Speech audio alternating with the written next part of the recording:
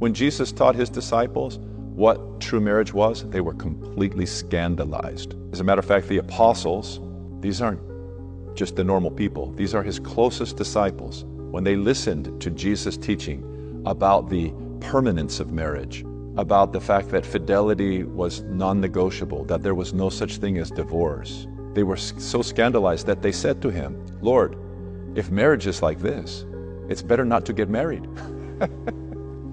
Jesus lifted up Christian marriage and explained that it is inviolable, that divorce and remarriage is adultery.